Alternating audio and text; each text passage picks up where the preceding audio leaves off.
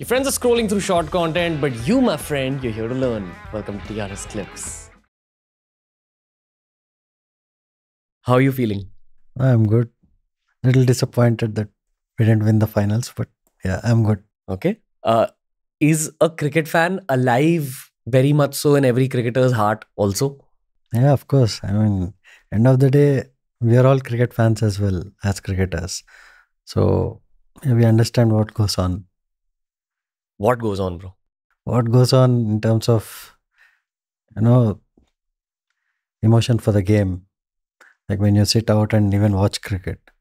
So you're always a spectator, even though you keep analyzing stuff as a cricketer, but you're always a fan inside. Okay. Do you want to tell me how your viewpoint changes once you actually become a professional cricketer and you're viewing a game? How does your viewpoint change versus when you were a fan and when you didn't play, professionally? I mean, it changes because you keep analyzing. You look at the conditions, you look at what the bowler is trying to do or the batsman is trying to do. So you have your analysis based on, you know, if he has done something right or wrong, or why he has done something or why he hasn't done something. So, I mean, it all makes sense, but end of the day, sport being a sport, you can never analyze it enough. End of the day, you just hope that we do well. Yeah. What do you mean you can't analyze it enough? मतलब क्या? मतलब मतलब you can never get it uh, spot on. Okay. In terms of analysis, there's always that element of uh, you know surprise in a sport. Okay. Yeah. Like you can't exactly say that this went wrong or that went wrong Yeah, or this yeah. went right. That's what you're trying to I say. mean, exactly. Okay. But you can always come close. I tweeted actually that this is the Generation Z version of what we went through in 2003. You, you remember that 2003 Yeah, pain yeah, yeah. of the Ricky Ponting team? Gen Z has understood that pain now. Uh, fair to say? Yeah, yeah, of course. Mean, we were actually in the West Indies when we were watching. We were in the India A side, but we were watching our main team. Uh, you know, play the 2003 World Cup. They did so well, but in the end, I thought I thought we would do the opposite to Australia this time. Unfortunately, we couldn't. Which one do you think hurts us more as fans, 2003 or 2023? I think both, but uh, this time I think we had a much stronger side. That point, uh, I think Australia were much stronger than us, but this time definitely we were a stronger side. Yeah, yeah. This is probably the strongest Indian side that I can remember in my life of watching cricket. And I have a friend of mine, Zakir Khan. He also said the same thing that he's never seen an Indian side dominate so much. Exactly. Right? Do you agree as a professional cricketer? Or am I saying something wrong? No, no, no. Of course, we had. I think sometimes you know, things happen like that, but uh, I feel this is the best Indian side I've seen. In, I've seen play in a World Cup. Yeah, hundred percent. Have you seen a better Indian side than this in general? But Yeah, of course. 2011 was a better Indian side general because of the skill factor and the experience and everything. But this side, I think, played the best in all the World Cups that I have seen. um, you know, there's something called theory of negative biases, which means if someone says something negative about you, you'll always remember that, but you won't remember the ten positive things that are said about you by ten Right. different people. That's just how human brains work. So I feel a lot of our starting 11 or the squad that played the 2023 World Cup, I'm sure they are staying away from social media right now because there will be those fans, you know, who will point fingers and blame and kind of throw negativity. But I think most Indian fans, like 99%, are actually very proud of our team, Yeah. of just how they played. I think I think they should be proud of the team. The way they have played was tremendous. I, I don't think I have seen any team play like that. So know, it's just unfortunate that we couldn't pull it off in the finals. Somehow, I think even the wicket was kind of very, very slow, lethargic for a final. I don't know whose idea was it. I think I think even a normal surface would have done because we were we were way more uh, stronger than the Australian side. We didn't have to do all that in the final. It, it was just supposed to be a good cricketing wicket, which Yeah. unfortunately wasn't. You know, all the fans who watch cricket understand how much the pitch and the conditions can affect a game. And we hear the analysis on the pitch and the conditions. But actually, when you're batting, what changes on a slow pitch like that?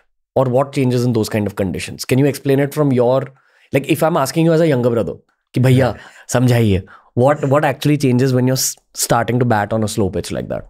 So the only dilemma is if the pitch stays the same throughout the game, like the entire 100 overs, then it's not a problem. Then you can play according to the conditions. But when you know or have a sense that dew might set in or you know pitch might get flatter later on, so you'll have to force yourself to you know play that many more shots just to get the run rate up to par for the second innings. So that is where all the mistakes happen. Eh, That was a surface where it was not the same in the first 50 and the next 50.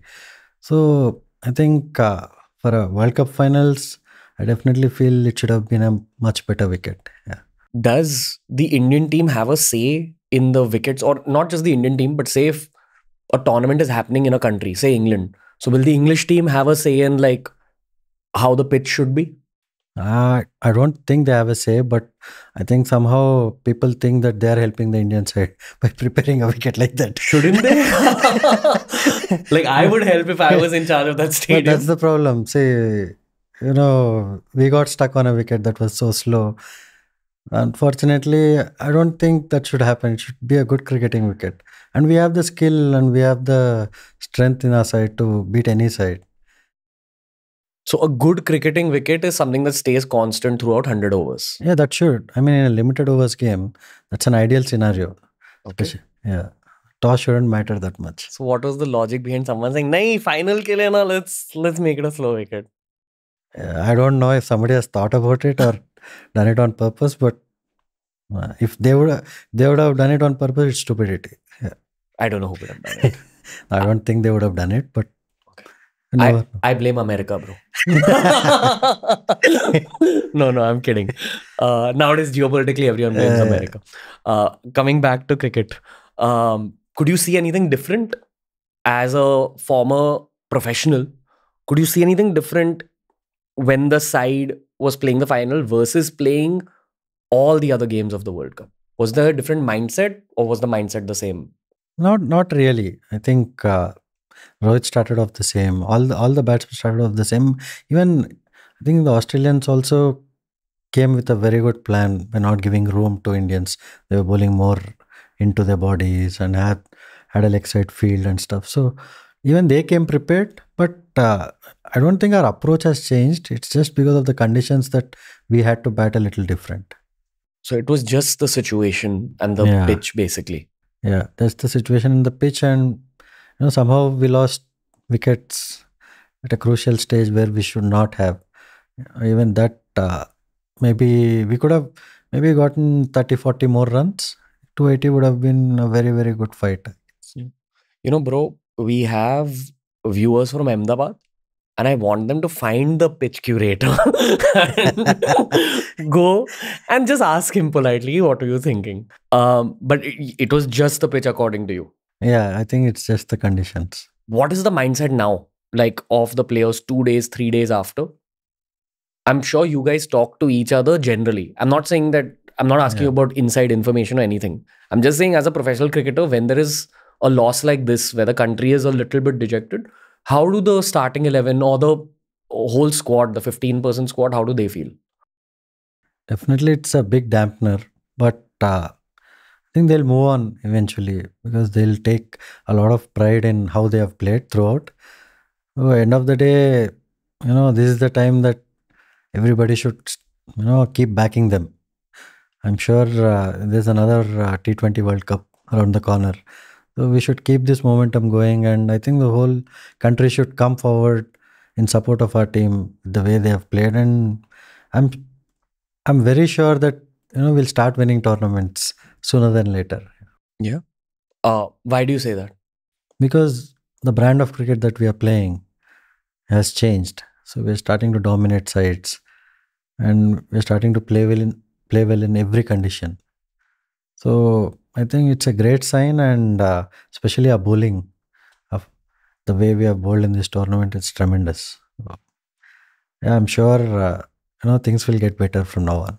Bro, you know, matlab, sometimes if I've had a bad breakup in life, then I will think about my breakup first thing in the morning. Last two days, I've thought about losing the match. That's my first thought in the morning. Arey, We lost on Sunday. Yeah, yeah, no, I mean, even even yesterday, I went to a place called Dindalur. I met a lot of engineering students. We were all, you know, interacting, going for a walk. Everybody's energy was low. साथ में रो रहे हैं सब क्या हो गया पूरा I think it's everywhere. It's okay. yeah. I think there's not there isn't anger. No there's, there's no anger. There's no anger. It's just that in a shock like how did this happen? Yeah. There's shock. Shock yeah. I think this is my most painful cricket memory. Yeah. More than 2003 yeah, yeah. 2003 australia was a much better side stronger side.